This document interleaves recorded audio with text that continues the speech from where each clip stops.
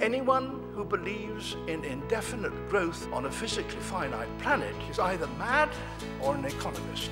We don't want to focus politics on a notion that involves the rejection of principles around which a large majority of our fellow citizens organize their lives.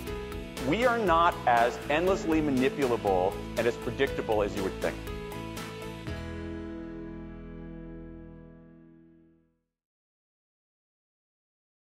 For the first time, probably in a decade or so, there's much more rhetoric uh, in public policy about the need to uh, decentralize uh, political and economic power. However, I think it's fair to say that so far, uh, the actual scope of that and the pace of that has not been that impressive. Part of our, the work of our Commission is to think about what a future government post-2015 could do if it was really serious about empowering our cities. And the process that we're going to be going through over the next 9 to 12 months is first of all a call for evidence where organisations can um, submit uh, their evidence to us uh, and be cross-examined in terms of some of their key ideas. We're also going to be commissioning research uh, into some of the key questions that we want to identify and we're going to be engaging with policymakers and practitioners through a range of round tables looking at some of the specific issues, barriers and mechanisms that we may want to explore when we get into the Commission uh, at a later stage. I don't think we should deceive ourselves about, about the scale of some of the issues that, that, are, that are relevant here. Um, uh, certainly for most of my lifetime, the seemingly ever-ending rise of London relative and the southeast to the rest of the country uh, has, has gone in uh, one direction. There are considerable underlying long-term reasons that, that perhaps uh, drive that.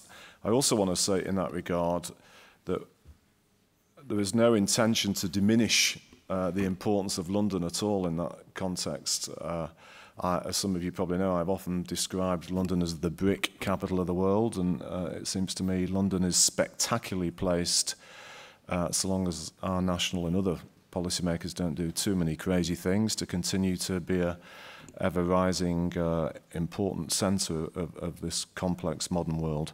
And the intention of the Commission is not to subtract from that, but uh, to explore uh, some issues uh, to see whether we can help stimulate the virtuous circle juices uh, that could lead to other, other urban areas, uh, perhaps not only doing a lot better for themselves, but critically helping to raise the overall national uh, economic performance of the country. To be economically large, you need to have a lot of people working and they need to be productive. And whether it's uh, in China or India or, or many other parts of the developing world or developed world, uh, it is obviously in that regard no coincidence that the main generators of economic activity are urban areas. Uh, and so uh, some of the issues are, are, are very critical um, to what's going on elsewhere in the world, uh, but we can focus more on them ourselves to help our own uh, growth become uh, more sustainable, in, in my judgment. There's often a view here in this country, and maybe in some others, that the relative decline of some uh, regions, especially urban ones, and ones that may be related to being past manufacturing sectors uh, are, are things that are just irreversible and there's nothing you can do about it. There are, uh, in my opinion, quite a few examples of, of cities in some parts of the world where they have. Um, when I was first learning about economics at school in the um, early 70s, uh, I specialised in economic geography at the time, and, and there was a strong view prevailing that uh, Boston and New England was an area that had been written off. I don't know how many people here have spent much time in Boston the past 20 years or so, but uh, that is certainly not a place to be written off in the slightest. It's an incredibly vibrant and dynamic place. Closer to home, uh, Hamburg in Germany is one of the most rapidly uh, expanding urban areas. I think we want to focus a lot more on what you might broadly call, from an economics perspective, supply side issues as opposed to demand issues. Many regional strategies in the UK have focused on special tax incentives and doing mm. things to try to persuade or coerce or force uh, industry X or Y to go to location uh, A or B. Whereas what I think is perhaps evidenced by some of the examples I've said of Boston, perhaps in particular, is doing things about the supply side of an urban area are probably, as difficult as they may be to pull off, things that are going to, be more likely to be ultimately successful. So certainly other things to do with local infrastructure and uh, we will be focusing, I hope, not just on physical infrastructure in that sense, also uh, technological infrastructure, which is obviously especially important for uh, the uh, youth of today and their future, uh, but also things to do with the uh, flexibility and the skill base and the education capabilities and attainments and desires uh, of people too. It seems to me that there is a case for saying uh, that some, if not all, regions or urban areas should be given more uh, autonomy or thought of autonomy in terms of uh, their own financing. It's the whole notion of whether, in fact, local authority bonds should be resurrected as a form of financing to allow uh, local authorities to, to make bolder choices about the kind of things they may want to finance for their area, rather than having it uh, uh, dictated to from central governments. And it, and it would fit well with at least one part of the current coalition's uh, philosophy on life, that's for sure. The reason why Core Cities is very keen to support the uh, uh, Cities Growth Commission is, be, is on a number of different levels, really. Um, I mean, to start with, there's the clear recognition that actually cities are the engines uh, of economic growth in this country. But as a, an organisation that represents the eight largest cities uh, outside of London, um, our agenda is certainly uh, one of looking to rebalance um, the national economy and rebalance the national economy by recognising the roles um, that the core cities can take. And almost uniquely in Europe, um, the big cities outside of the capital uh, underperform the national average in this country. Uh, elsewhere in Europe, um, those regional cities, those big cities, either perform at or above uh, the national economic average. That's a challenge not just for uh, the core cities themselves, but actually it's a challenge for the national economy. Uh, and, you know, um, when you look at the continued growth and uh, rapid growth of, of, uh, of London, uh, and then you contrast that with the, um, the recession it doesn't take too much to project forward and to think that actually what is, what is seen as a benefit in London now may well um, become increasingly a challenge as policy develops to address what will become a challenge um, with the London economy. That in itself will cause difficulties uh, in the regions and, uh, and particularly in the big cities. Um, and yet the core cities collectively uh, have, um, in terms of GVA, uh, generate uh, more growth than London, does. So 27 uh, percent of uh, the national economy uh, is, uh, is attributable to growth in the core cities. If you looked at the performance of the core cities, and if that performance in economic terms um, simply match, matched the nat national average, you'd be looking at an additional contribution to the national economy of some 1.3 billion pounds. And so uh, our, our argument, our contention is that actually the core cities can do a good deal more. Um, the core cities have potential for growth um, and in growing uh, would look to, would be able to rebalance the national economy.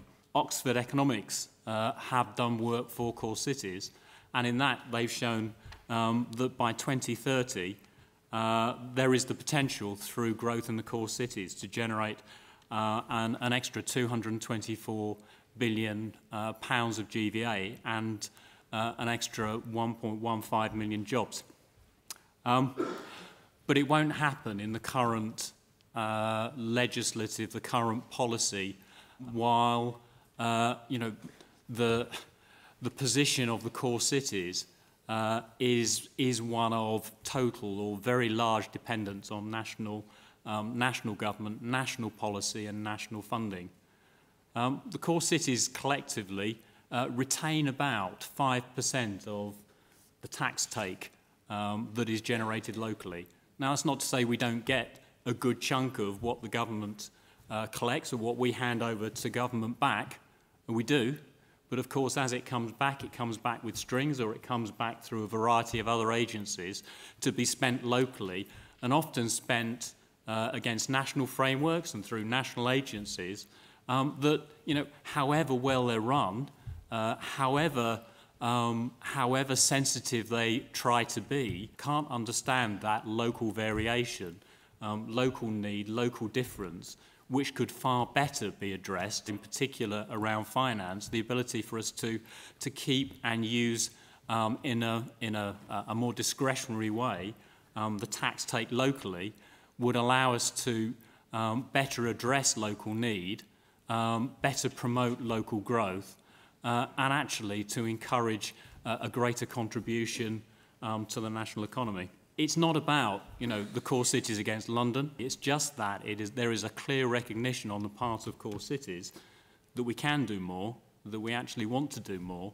um, with greater flexibility uh, and with greater devolution, we could do a lot more, uh, and we could do a lot more to drive economic growth and growth um, in a more balanced way across the UK. The evidence is clear that cities are driving the global economy. Because um, economies are more and more dominated by services, by knowledge, what matters is to businesses, they need access to customers, they need access to skilled labour, and they need access to ideas. And that's what cities offer around the world. It's no accident that it's predicted 70% of the world's population will be urban by 2015.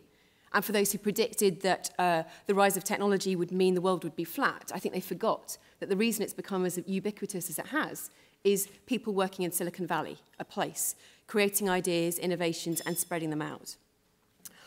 In the UK, this is true as well. The evidence shows uh, our cities drive the economy. The 64 largest cities account for around 60% of the jobs of the GVA three quarters of the knowledge intensive, the most highly skilled jobs. But it's also true that the contribution, as has been said, varies significantly. Uh, if you look at the nine largest English cities, as has been said, they account for over half of English GVA. If you look at some of the fastest growing smaller cities like Milton Keynes and Brighton, they've grown well above the national average in recent years. And at the same time, you've got cities like Hull, which have been struggling uh, for decades to rise to the challenges of quite a, a rapidly changing economy. We also have a situation in the UK where, despite the fact that cities do drive growth, we have, with these nine largest English cities, as was said, seven out of those nine performing below the national average. Now, in a world where cities are driving economic growth, that's not sustainable. It's not sustainable now, and if you look 10 years in the future, it means the UK is going to fall behind. In an economy which uh, is all about innovation and networks and connections and, and people working together, we continue to be one of the most centralised countries in the world. So if you look at um, some of the kind of uh, tax raising powers, for example, there's lots of figures on this. One of them, local areas in the UK raise on average about 17% of their money. You, I've seen lower figures than that.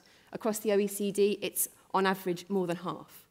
And actually, there's an awful lot of uh, uh, lack of control over that money. As, as John said, it's actually very difficult to be able to uh, decide how you spend your budgets if you're a city. And so many policies are national and one size fits all, even when they're about places. Housing is a great example of this. Absolutely, we have a national housing shortage.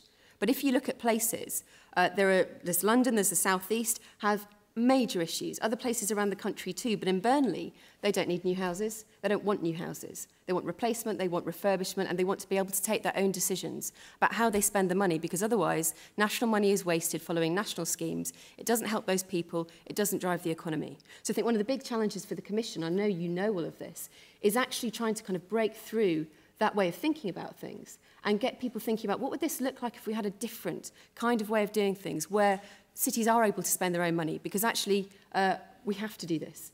We know that public spending needs to be reduced over the years ahead. We know that uh, cities can't rely on national government for grants, which historically mm. has been how things have had to operate, whether you wanted to or not. Um, we need to find ways to reduce spending and to do more. And I think one of the interesting uh, examples of how you can really do that comes out of things like community budgets. In Manchester, for example, the money saved, 10 million in cashable savings, when you work together on troubled families, joining services up. It's also true to say um, that of that money, about two-thirds of the money was invested by local partners. 80% of the savings went straight back to Whitehall. So you've got a, an era in which there's a lot of austerity. We need to save money. Places can do that because they can join things up around people. They can actually respond to what's going on in their economy. But we need to change the structures that enable cities to benefit from some of those investments and make sure that they can uh, reinvest some of that money, not all of it, but some of that money into the local economy. We have to make the most of London. It's a global city. It uh, is thriving. It's got an international reputation. It creates a lot of opportunities for the UK. What we also need to do, though, is to make sure that the other cities are complementing it, that they have investment to increase their scale, their impact. So you've got the Manchesters and the Leeds of this world able to respond to the needs of their economy, invest in the infrastructure they need. So actually London and Manchester and Leeds and Sheffield and all the, those major cities, as well as, as the smaller cities, uh, are able to work together to make the economy thrive. At the moment, it doesn't work like that. Um, and you can see the impact in, in London, congestion, some of the challenges around housing. We need to make far more of the talents and skills of the cities around the country. Not enough people, I think, buy the argument that cities are part of the answer to the questions that the national questions that people are asking about welfare, about immigration, about jobs. So for the Commission, it would be great to see you changing the terms of the debate. It'd be great to see you uh, establishing some of the benefits of city-driven economic growth rather than this national focus, and reviewing the way in which labour markets operate at the local level, understanding not just about how to align national decisions with local decisions, but actually about how local labour markets work differently and then connect to make up the national economy. This isn't a national economy made up of local. This is a, uh, an economy that's all about local labour markets that drive economic growth. And I'm, I'm sure you'll make a fantastic contribution to that debate, and we look forward to working with you.